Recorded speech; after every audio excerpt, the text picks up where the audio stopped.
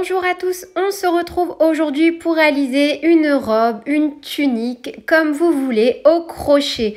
Donc je vais vous montrer deux façons de la porter. Donc là c'est une façon un peu, euh, on va dire, élégante de sortie, euh, très très féminine. Donc euh, soit avec ou sans ceinture, comme vous voulez.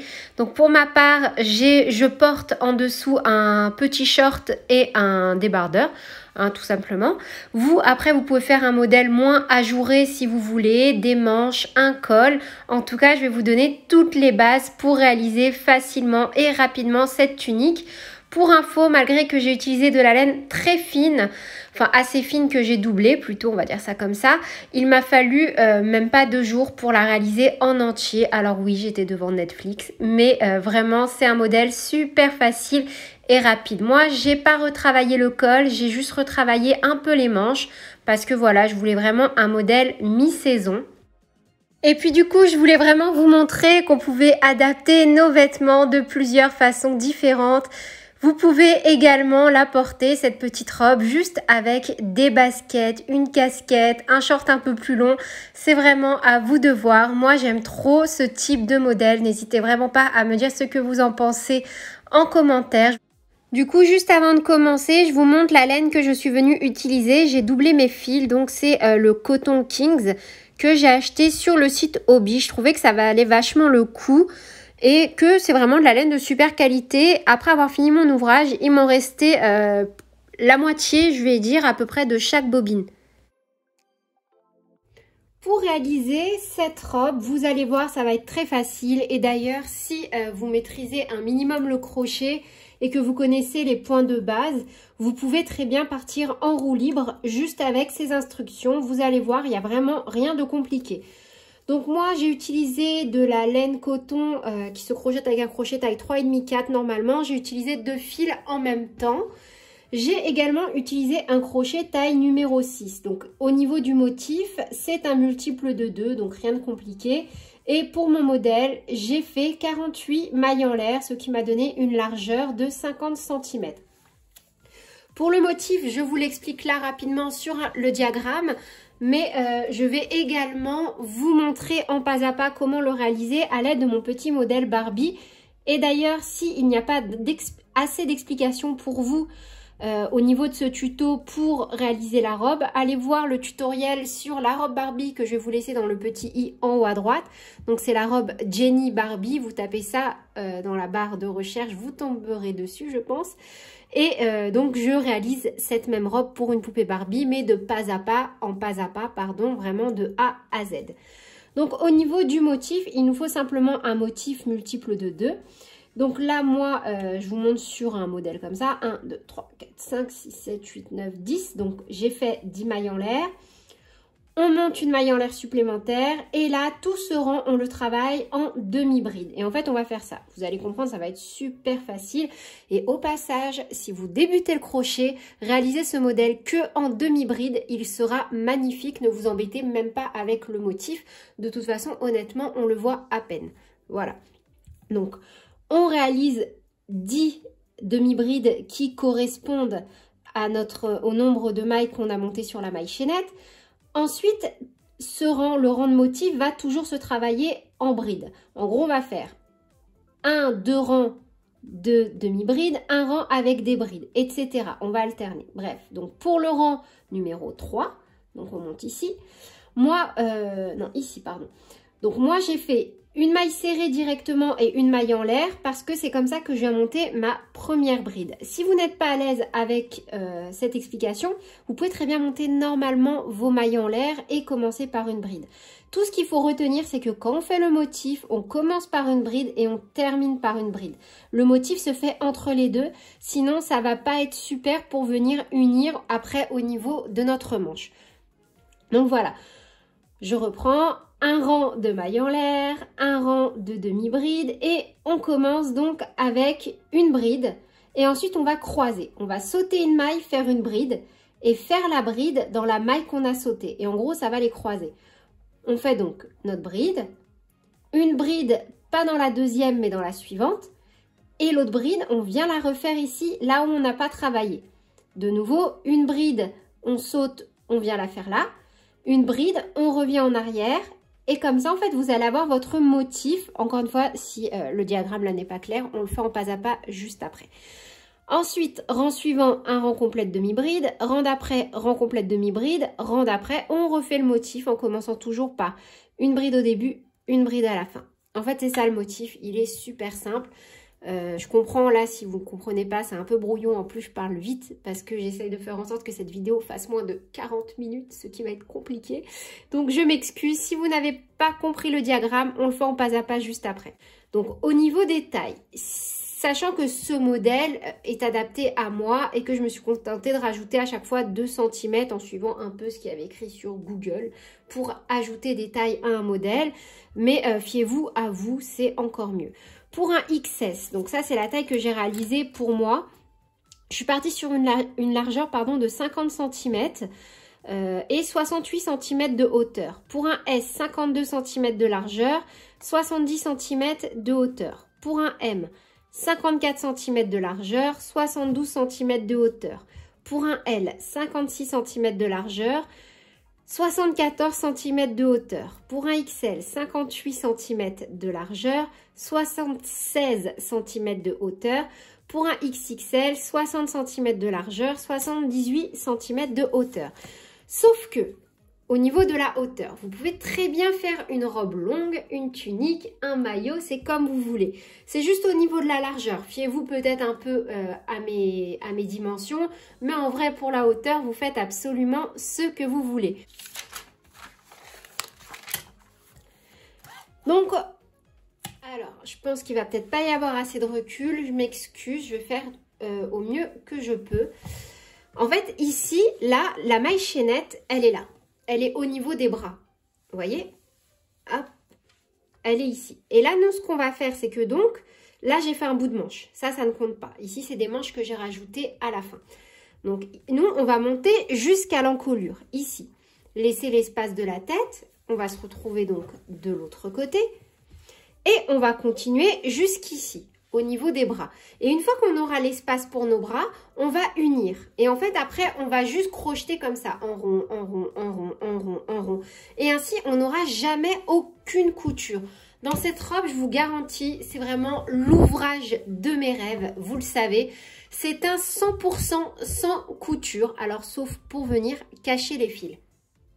Donc maintenant avec ça, vous allez vous adapter sur un nombre pair pour votre maille chaînette. Moi j'ai monté 48 mailles en l'air pour obtenir 50 cm. Mais encore une fois, et on le sait, vous allez certainement utiliser une autre laine et un autre crochet. Donc fiez-vous au centimètre et non pas au nombre de mailles en l'air. Là c'est à titre indicatif, je l'ai surtout écrit pour moi. Si un jour je veux faire un modèle similaire avec une laine similaire. Donc une fois que j'avais ma maille chaînette qui mesurait entre 50 et 52 cm, parce que après moi je crochette un peu serré, donc mon travail a tendance à se resserrer, vous faites aussi votre maille chaînette en fonction euh, de comment va se resserrer votre ouvrage, si vous crochetez de façon souple ou serrée. Et donc sur ces 50 cm, je suis venue déjà monter, tac tac tac tac tac, 20 cm. Je vais commencer par réaliser une maille chaînette qui a un nombre pair, donc multiple de 2.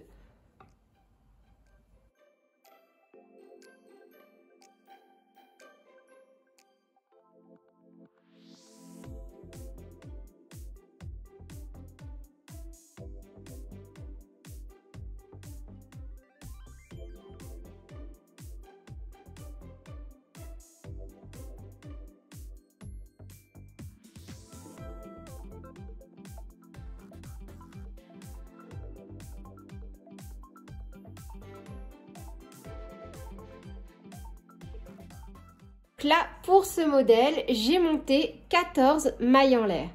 Je vais ensuite faire une maille en l'air supplémentaire, un jeté et piquer dans la deuxième maille à partir du crochet. 1, 2 et je viens réaliser un rang complet de demi-bride. Donc là, je vais faire 14 demi-brides.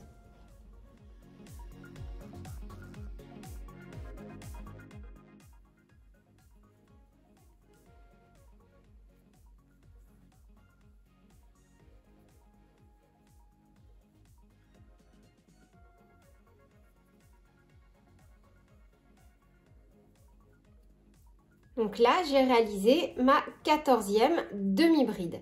Maintenant, pour le rang suivant, je vais directement tourner sans faire de maille en l'air, piquer dans les deux brins ici, les premiers, et faire une maille serrée, suivie d'une maille en l'air. Et là, j'ai ma première bride.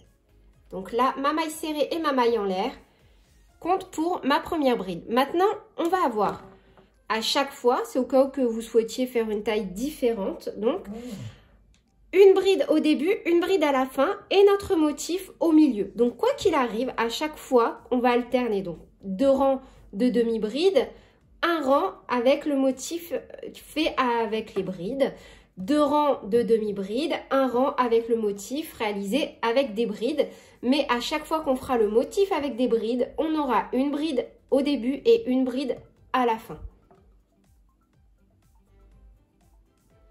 Alors, du coup, on a notre première bride. Maintenant, on va sauter une maille. Donc celle-ci, et on va piquer dans la deuxième et on vient faire une bride.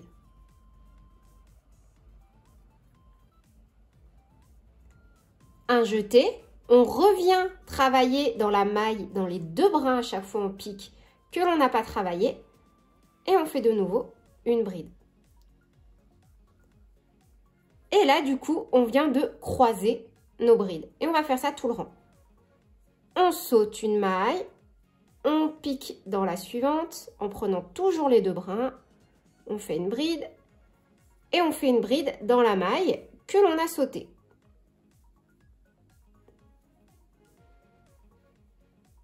De nouveau, un jeté, on saute une maille, on pique dans la maille suivante, une bride, et on vient faire une bride dans la maille que l'on a sauté.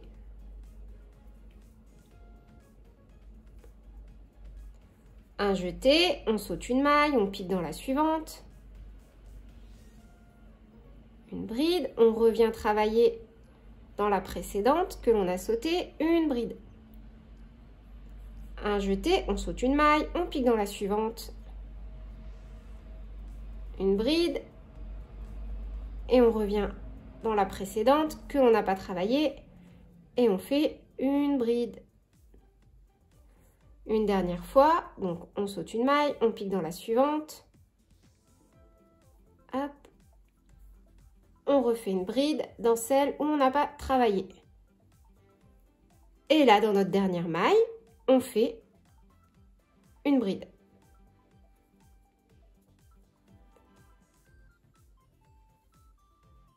Et en fait, le motif, c'est ça. Et à chaque fois, on va espacer les rangs de motifs avec deux rangs de demi-bride. Donc là, toujours on tourne. Pour faire ma demi-bride, ma première, je vais faire pareil que pour le rang précédent. Donc là, je ne fais pas de jeté, je pique dans les deux brins et je fais directement une maille serrée et là, une maille en l'air supplémentaire qui équivaut comme ma première demi-bride. Donc une, deux. Après, juste au passage, vous pouvez monter normalement le rang. Hein. Moi, je fais comme ça, mais utilisez la technique que vous voulez. Là, on fait juste un rang de demi-bride. Et 14. Du coup, la petite astuce à chaque fois, c'est de venir piquer dans la maille en l'air. Là, à chaque fois pour monter, on fait une maille serrée, une maille en l'air. Et la dernière, à chaque fois, maille, on la travaille dans la maille en l'air. Donc là, ça fait 14. On tourne et je refais un rang complet de demi-bride. Donc toujours, je pique dans mes deux brins. Une maille serrée, une maille en l'air, ça fait une, deux,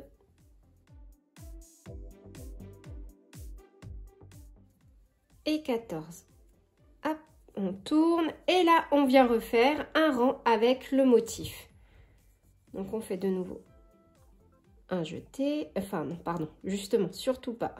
On fait une maille serrée, une maille en l'air, donc là on a une bride et on vient de nouveau. On saute une, on va dans la suivante en prenant toujours les deux brins et on refait nos croisés. Un jeté, on saute, on pique dans la maille suivante, une bride, on revient en arrière, dans la maille qu'on n'a pas travaillé, une bride. Un jeté, on saute une maille, une bride, et on vient faire une bride dans la maille précédente.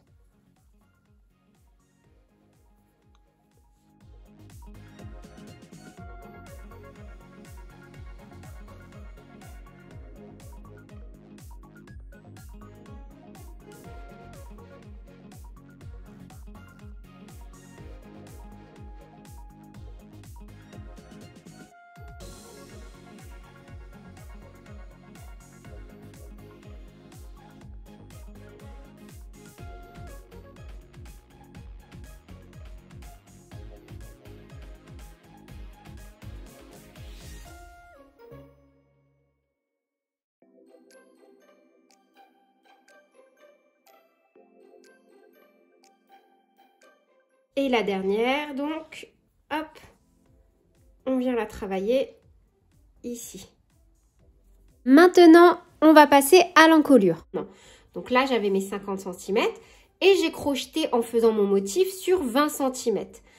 Ensuite, au niveau de l'encolure, j'ai fait donc ici un rang de demi-bride. La seule chose, c'est que je vous conseille de vous arrêter à un rang de demi-bride avant de commencer l'encolure. En gros, vous faites un rang de demi-bride, vous faites l'encolure et un troisième rang de demi-bride. Moi, perso, c'est ce que j'ai fait. Et donc là, j'ai fait 25 euh, cm de maille en l'air pour obtenir mon encolure. J'ai fait des demi-brides, j'ai fait euh, le nombre nécessaire de mailles en l'air pour obtenir 25 cm et j'ai fini en demi-bride.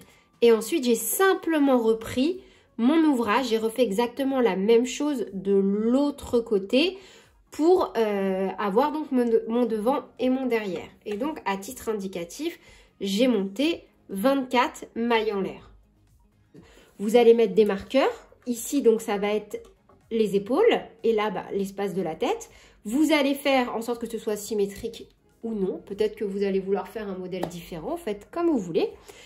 Et en fait, les mailles ici, là, pour le col, on va venir les travailler en mailles en l'air. Vous voyez?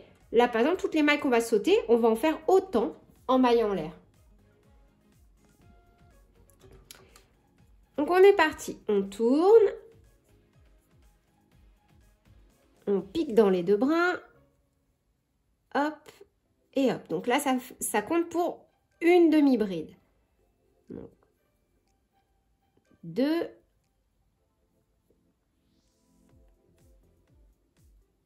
3.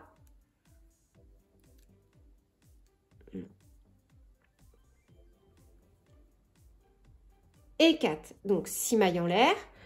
1, 2, 3, 4, 5 et 6. Un jeté, je pique de l'autre côté où il y a mon marqueur. Et je fais donc une demi-bride. Hop, une. 2,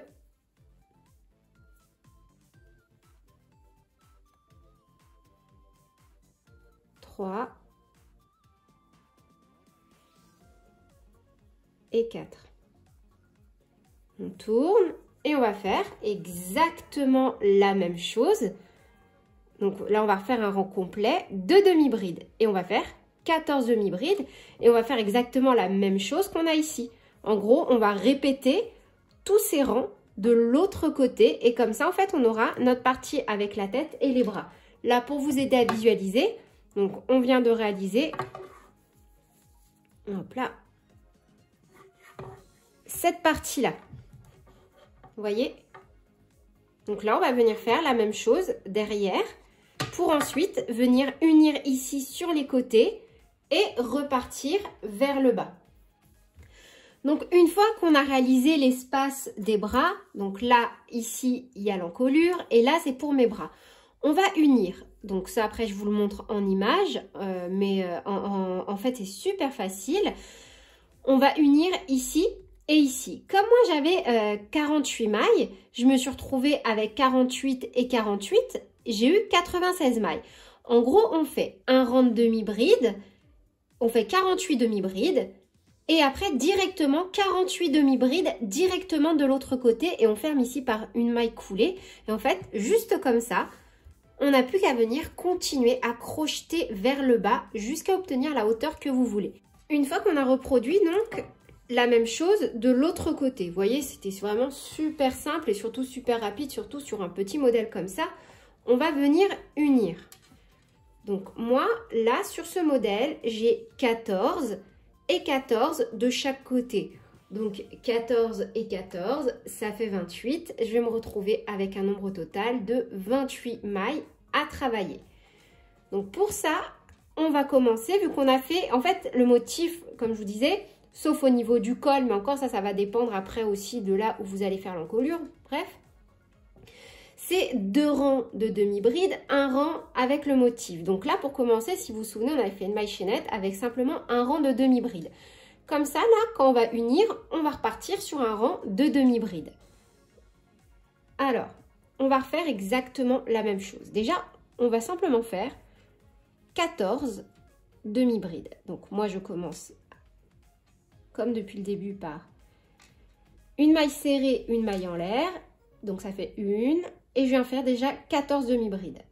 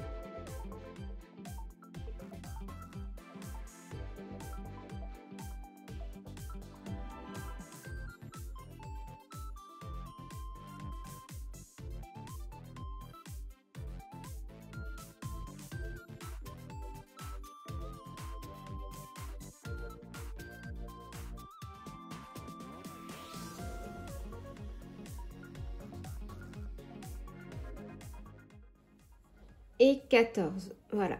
Et là, donc, je vais venir unir. Donc, un jeté.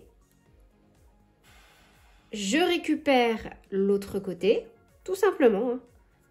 Et je viens faire une demi-bride dans la première maille, en prenant toujours les deux brins. Et je refais donc comme ça 14 demi-brides. Donc là, une,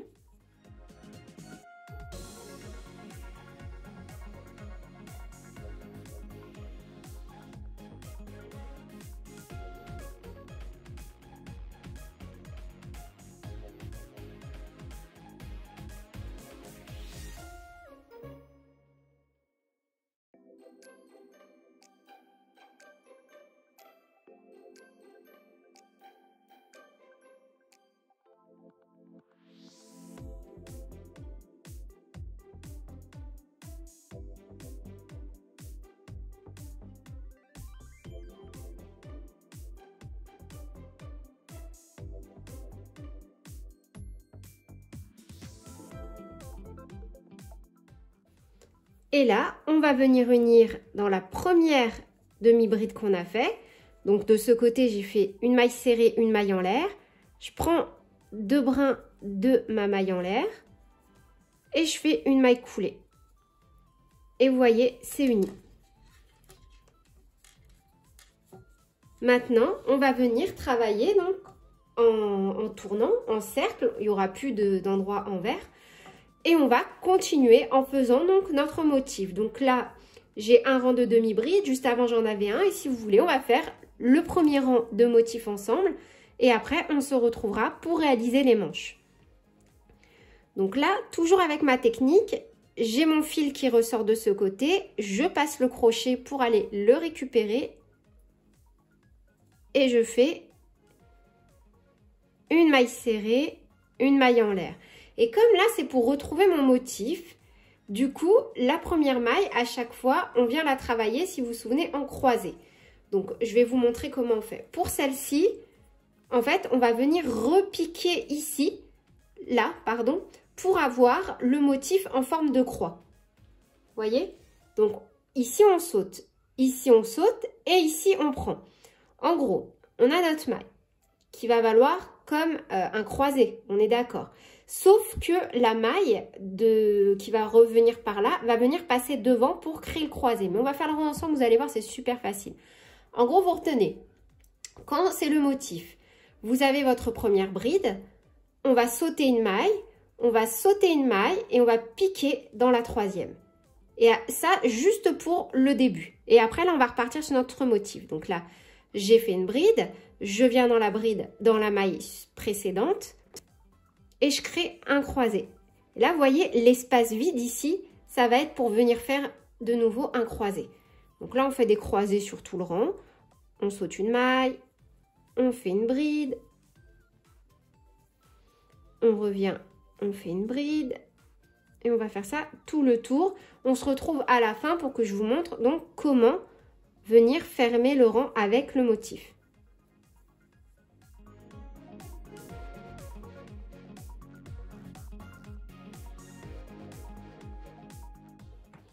À la fin de mon rang, donc là j'ai fini mon dernier croisé, voilà la configuration dans laquelle je suis. Ici, j'ai ma maille serrée, ma maille en l'air que j'ai fait pour monter mon rang. Je fais un jeté, je viens piquer là dans la dernière maille que j'avais pas travaillé.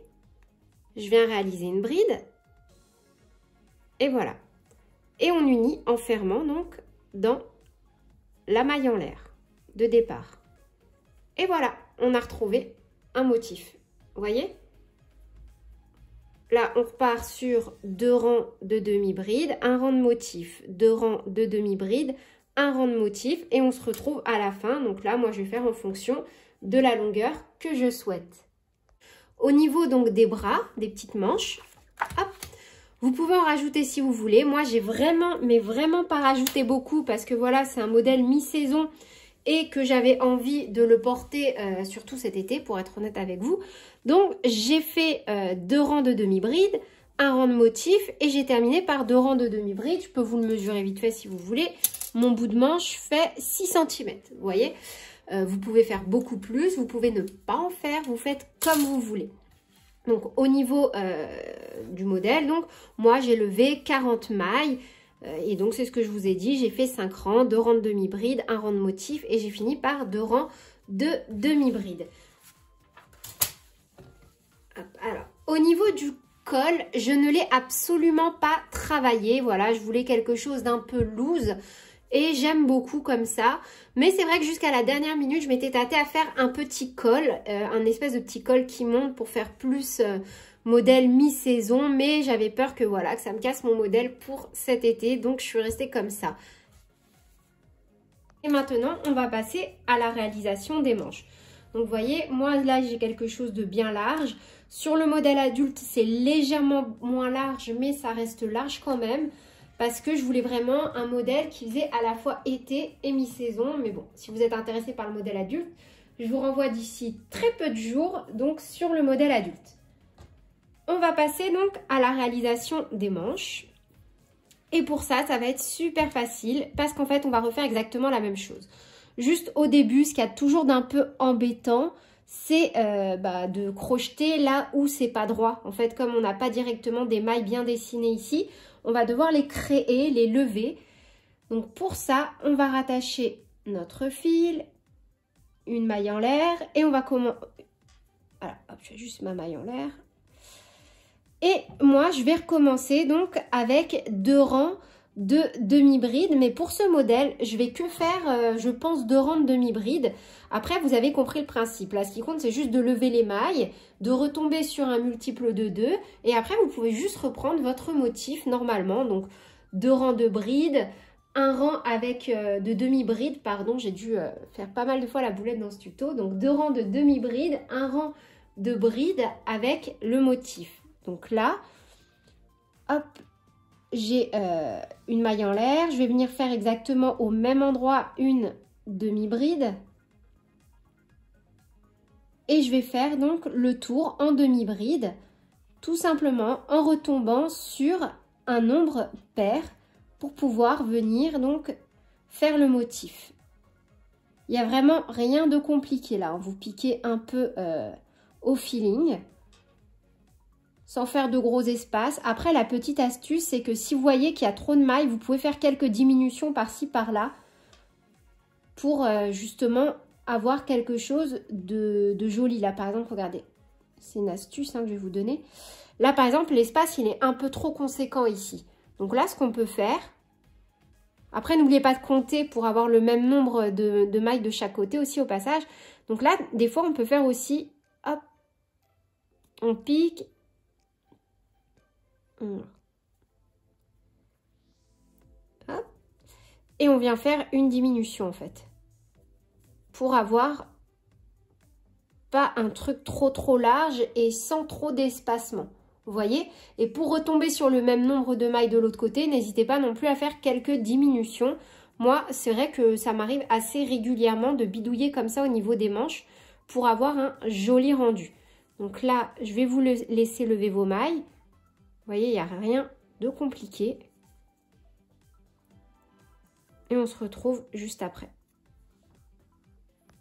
Et voilà, c'est tout pour ce modèle. N'hésitez vraiment pas à me dire ce que vous en avez pensé, laquelle de ces versions vous plaît le plus, la version très féminine ou sportwear. Moi, je vous avoue que j'ai une grosse préférence pour la version sportwear. N'hésitez surtout pas non plus à me dire quelles sont les prochaines vidéos que vous souhaitez que je fasse sur ma chaîne et le plus important pour celle-ci, si les explications étaient assez claires et précises car vous le savez, je prends vachement en compte vos remarques tant que vos commentaires sont gentils et constructifs. Hein, voilà, voilà. Sur ce, je vous fais plein de bisous, prenez bien soin de vous et à bientôt pour de nouvelles vidéos. Salut